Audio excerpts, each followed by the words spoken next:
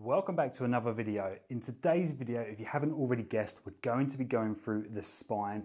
We're going to be looking at those bony landmarks. So, if you can uh, ignore my terrible drawing here, one of the key landmarks we've got on the back, and the best way for you to be able to identify anywhere you're going is C7. So, when you're with your client, and the easiest way to do this, and you can actually do this yourself now from home, feel down the back of your neck until you get to the bottom where it bulges out just a little bit and you will be able to feel it yourself.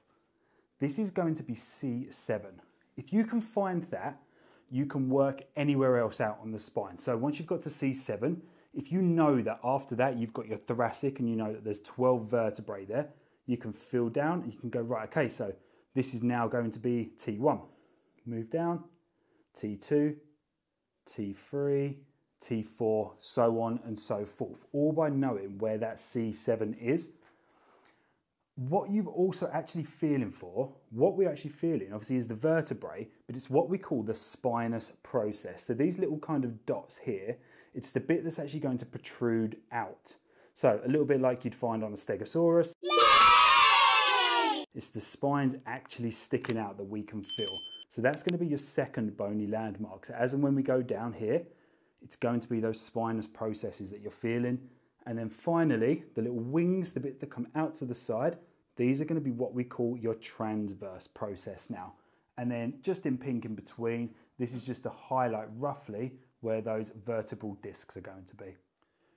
Okay, we're going to start looking at some of the ligaments on the spine now. So first one we're going to go through is the posterior longitudinal ligament, which actually connects all of these spinous processes together. So what this is actually going to do is prevent excessive flexion to protect the client. So obviously when that spine goes into flexion, it's to prevent any injuries from occurring. Okay, just on the other side of the spine, so obviously I can't show you this one, what it would look like from an anterior point of view, but you're gonna have the anterior longitudinal ligament now, and what that one's going to do is prevent excessive extension. So as the client arches their back in, perfect, it's going to prevent them coming too far back that would actually pose an injury. Okay, the last major ligament that I want to talk through now is the intertransverse ligaments. And what these are going to do is connect these transverse processes together, running down those vertebrae. What this is going to do is prevent excessive lateral flexion. So if you can just side bend for me, perfect. Obviously, they're going to engage and they're going to prevent the client from going into like hypermobility and damaging any of those ligaments. Okay, so just going back over to what we mentioned about the landmark and talking about C7 and how if you can find that, you can work out anything else with regards to the spine.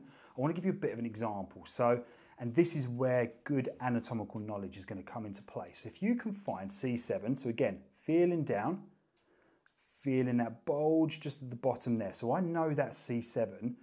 And then when I come down, I've got T1, T2.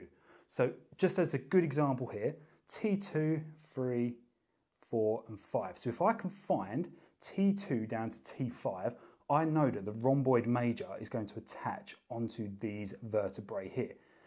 And I also know that it's going to come down and span towards that inferior angle of the scapula. And all of that can be worked out just by knowing where C7 is. So if a client comes in, you know that there is an issue with their rhomboid major because you've done your assessment.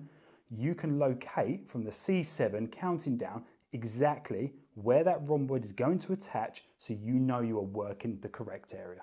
And that is a wrap on today's video. So as always, if you've enjoyed the content, don't forget to like, comment and subscribe. Let me know what kind of videos you want to see coming up on the channel in the future. And as always, I will see you in the next one.